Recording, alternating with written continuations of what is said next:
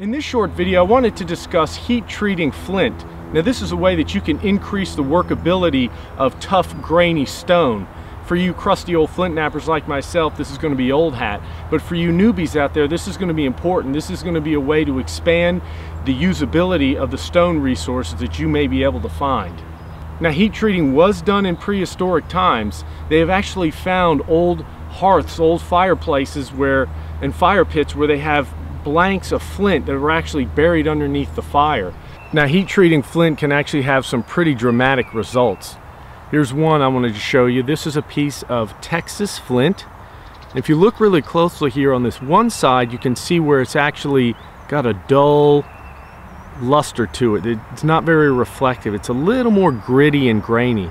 But on this other side where I've taken a flake off of it, you can see that it's got much more of a waxy reflective luster and that is the effect of heat treating. So this piece of stone was heat treated in my kiln and then I knocked a flake off this one side and there you can see the difference.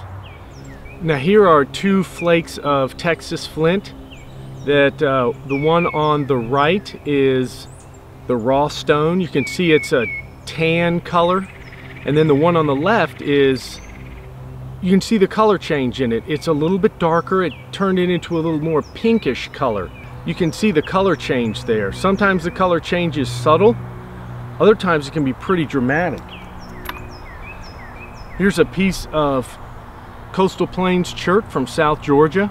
If you look closely, you can see the yellow, yellowish brown speckling pattern in there. And then Here's an arrowhead that I made out of this exact same piece of stone, only this stone was heat treated. You can see the dramatic color change. All the yellow speckles have now turned a brilliant red. And uh, it almost doesn't even look like the same stone. You can see that it, the, it does have the same color pattern and speckling, but the, the color change is much, much more dramatic in the finished point. Now the only drawback to this is that this uh, heat treated stone is not quite as durable.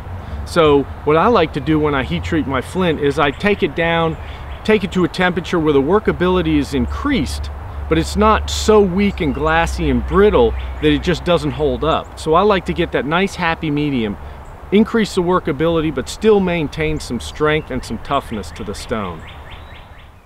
For this video, I'll heat treat this bag full of Texas Flint Flakes. It's best to cook flint that all changes at the same temperature for maximum results and maximum efficiency. Tougher, grainier flint requires higher temperatures to improve its workability, though the exact temperature will require trial and error on your part. Most flint changes between 400 and 450 degrees Fahrenheit on average, though some will require more heat. To heat treat my flint, I prefer to use a low temperature kiln. This gives me maximum control and minimizes waste and breakage. First, I carefully fill it with flint flakes. The flint I'm loading into the kiln can be worked raw, but I prefer to cook it so that workability and sharpness is improved somewhat. Good flint is a limited resource and I embrace using modern conveniences like a kiln to maximize results and minimize waste.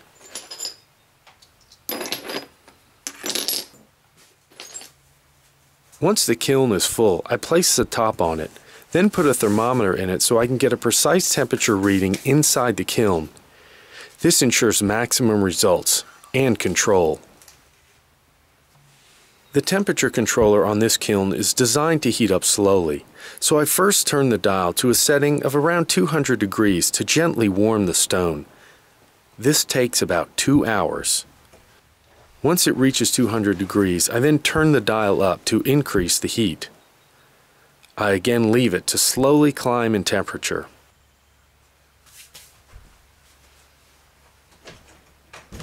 A few hours later, the thermometer shows that the temperature inside the kiln is 370 degrees, just 30 degrees shy of the target temperature of 400 degrees I want this kiln to reach.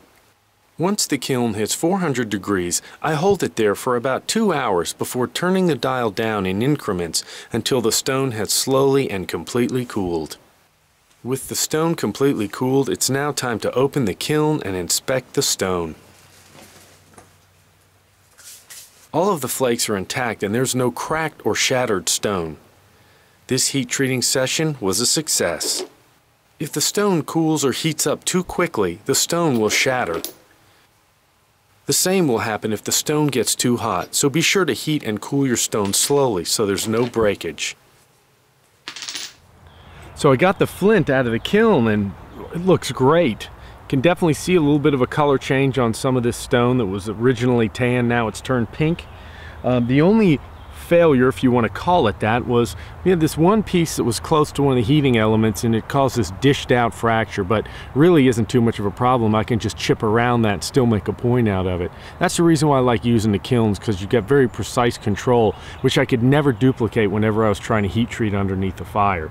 So I'm going to take a few flakes off these pieces and just see how they work.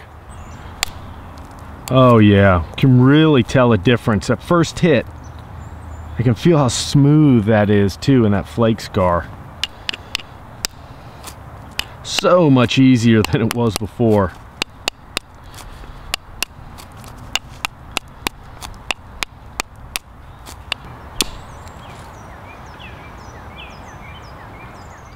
Well, that flint really turned out nice. You can see the glossiness of it right there as I turn it in the light really increase the workability of this stuff too and makes it super sharp but not too weak.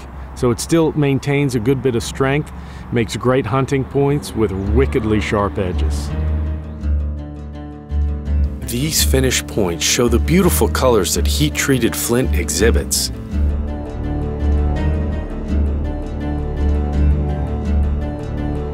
The glassy, finer workability will allow you to make finer, more exquisite arrowheads like these small but extremely fine Gunther barbed points.